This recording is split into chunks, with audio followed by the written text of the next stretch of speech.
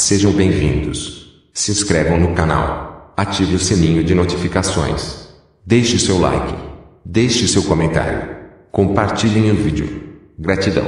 Vulcões em erupção. Vamos ao tema. Kilauea é vulcão havaiano. O vulcão Kilauea, no Havaí, voltou a entrar em erupção nesta quinta-feira, dia 30, com força total, informou o Serviço Geológico dos Estados Unidos. A erupção não ocorre em área residencial e as autoridades garantem que não existe perigo imediato para os moradores.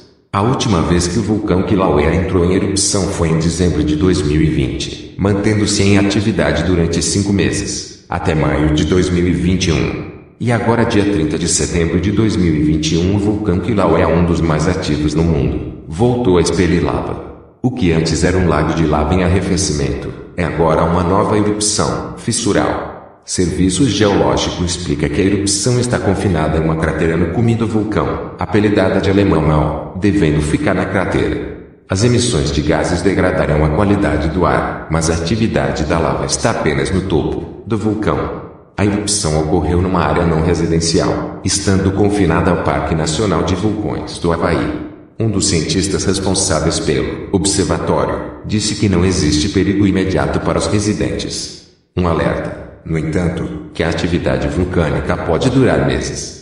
O Observatório de Vulcões Havaianos aumentou o nível de alerta para perigoso no início do dia, depois de registrar um aumento nas atividades sísmicas na noite anterior. O aumento da atividade sísmica e as mudanças nos padrões de deformação do solo na cúpula do Kilauea começaram a ocorrer aproximadamente ao meio-dia dessa quarta-feira, dia 29, indicando o movimento do magma na subsuperfície.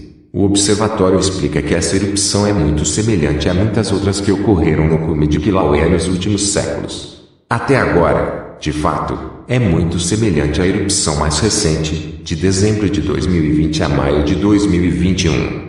Ele está libertando a pressão que se acumula entre as erupções, um processo muito cíclico. O vulcão entrou numa fase de atividade cíclica, não muito diferente dos anos 50 e início dos anos 80 com frequentes erupções. É um dos vulcões mais ativos do mundo, diz o Serviço Geológico dos Estados Unidos. Em 2018, o vulcão entrou em erupção e destruiu mais de 700 casas, o que obrigou a retirada de vários moradores. Muitos vulcões estão entrando em erupção ao mesmo tempo. Seria hora de se preocupar com tudo isso que está acontecendo. Deixe sua opinião.